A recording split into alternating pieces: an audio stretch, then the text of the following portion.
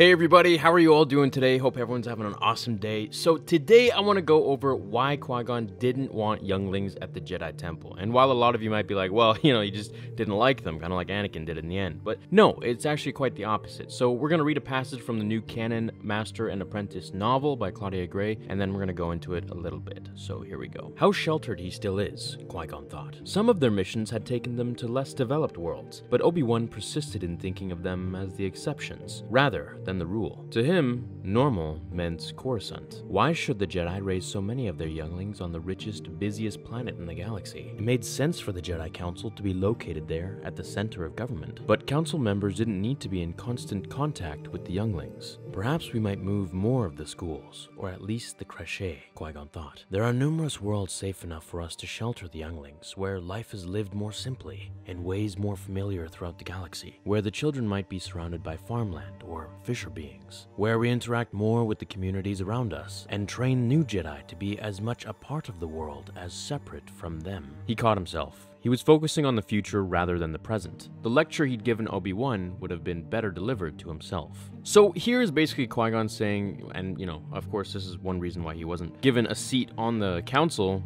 well, until this book, but he declined of course, is because he wanted to basically change a lot of the things, or he believed differently in a lot of the ways that the Jedi Council believed in. He felt they were way too rigid, they were way too focused on politics and the Republic and democracy and all this and that, rather than focusing on life and the Force itself. And this is why he felt the younglings, who were the foundation of the new generation of Jedi, you know, continuously, they should have been put on a remote planet, you know, much more quiet and peaceful, where there's more life and there's just less distractions and less politics and less crap, basically, and more emphasis on life in general. And this would allow a youngling to basically harness their powers and abilities much more effectively than if they were constantly being told what to do or what to think or being, you know, confused with politics and this and that, but just to actually focus on themselves their growth, the people around them, and the communities around them, then they would be much more, I believe, passionate and uh, empathetic than, you know, growing up in kind of a big, busy, the most busy planet in pretty much the galaxy at the center of government. So I could see where Qui Gon is going there. And then in the end, he says, and train new Jedi to be as much a part of the world as separate from them. And he closes off his sentence, but I believe what he was trying to say to be as separate as the actual Jedi on the council, because he feels like they are so disconnected from the world, or I mean, the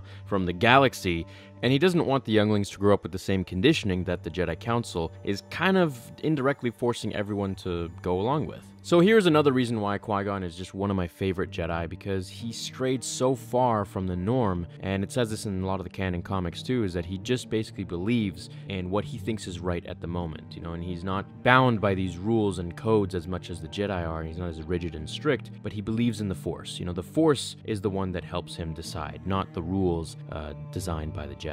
So Qui-Gon's philosophy and belief on not having younglings at the Jedi Temple and raising them elsewhere. And then I guess, you know, once they are a little more sure of themselves and uh, practice the Force in a much more quiet environment and growing up in this community with farmland and this and that, they become a little more wholesome, I believe he's trying to say, and much more in tune with their emotions. And then they can be moved off world, you know, onto Coruscant or wherever they need to be. But I feel like that's definitely one of the things that he was trying to say. Now, one drawback to this is that the younglings won't be surrounded by all of the most powerful Jedi in the galaxy, and this kind of disperses them. But I mean, you know, there's good and bad to everything. So, hope you guys enjoyed this one. Please leave a like if you did, and I'll see you guys in the next video. Until then, remember, the Force Force will be with you, always.